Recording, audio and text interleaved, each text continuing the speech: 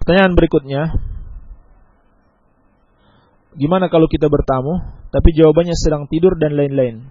Sedangkan yang bertamu jauh-jauh datang bertamu atau ada keperluan. Ya. Sedangkan dalam hadis harus memuliakan tamu.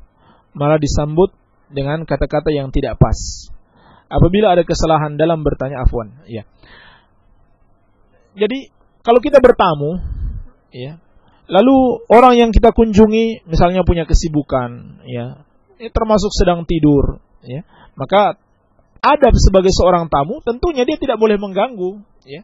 Dia misal walaupun dia datang dari jauh, ya, adab sebagai seorang tamu dia tidak boleh mengganggu uh, orang yang dia kunjungi, ya. Kalau dia sedang dalam kesibukan, ya, misalnya sedang mengajar, ya termasuk sedang tidur, ya Nah, ini dari sisi orang yang bertamu, ya. Adapun dari sisi orang yang menerima tamu, tentunya dia dia juga harus berusaha memuliakan tamunya. Nah, kalau dia misalkan dalam keadaan capek atau ngantuk, butuh istirahat, nah tentunya dia tidak bisa juga memuliakan tamunya secara maksimal. Ya.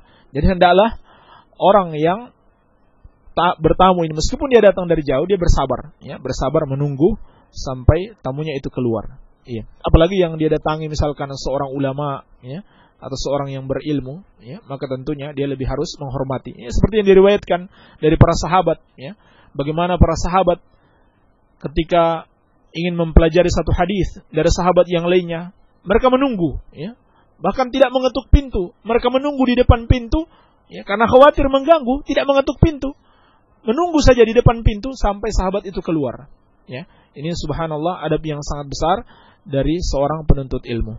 Iya. Demikian wallahu alam.